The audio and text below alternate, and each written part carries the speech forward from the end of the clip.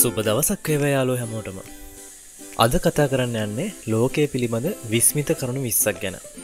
ඉතින් මේ අතරින් ඔයාලත් දන්න කරුණු තියෙනවන පල්ලහැන් කමෙන්ට් ඇදාගෙනන්න අමත කරන්න එපා. අංක එක. උනුවතුර සීතල වතුරට වඩා වේගෙන් අයිස් පාට පත්වේ.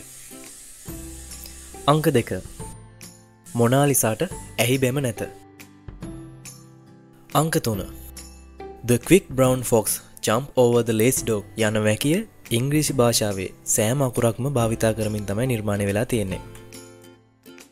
අංක හතර ශරීරයේ ශක්තිමත්ම මාංශිපේශය තමයි දිව. අංක පහ කොහුඹුවන් පෑ දොළහක් කාලයකට විවේක් ගන්නේ විනාඩි අටක් පමණි.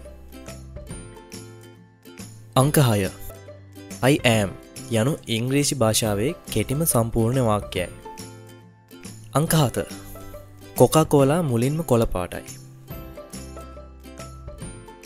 අංකාට ලෝකේ වඩාත්ම පොදුනාමය මොහොමඩිය. අංක නමය සඳ රිජුවම ඉහලින් නැති විට ඔබගේ බර තරමක් අඩුවනු ඇත. අංක දහය කාන්තාර වැලිවලින් ආරක්ෂාවීමට ඔටුවන්ට ඇසිපිය තුනක් ඇත. අංක එකොළහා ඉංග්‍රිසි භාෂාව ඇත්තේ සර පහම පිළිවෙලින් ලිය ඇති වචන දෙකක් පමණි.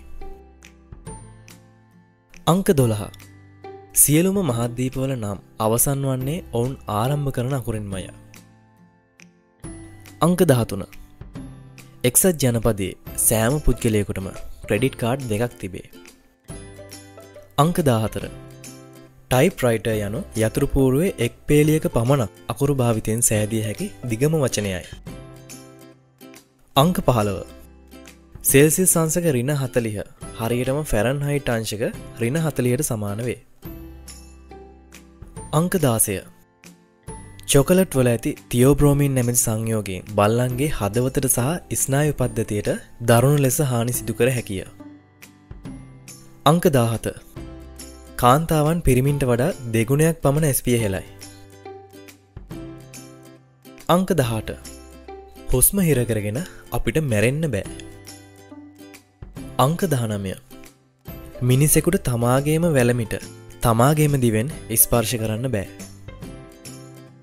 අංක විස්ස ඌරන්ට උඩ බලන්න බෑ. ඉතින් ඔයාලත් දන්න මේ වගේ කරුණු තියෙනවනම් කමෙන්ට ඇද්දාගෙනන්න අමතක් කරන්න එපා. අදර ගිහින් එන්න. සුබ දවසක්.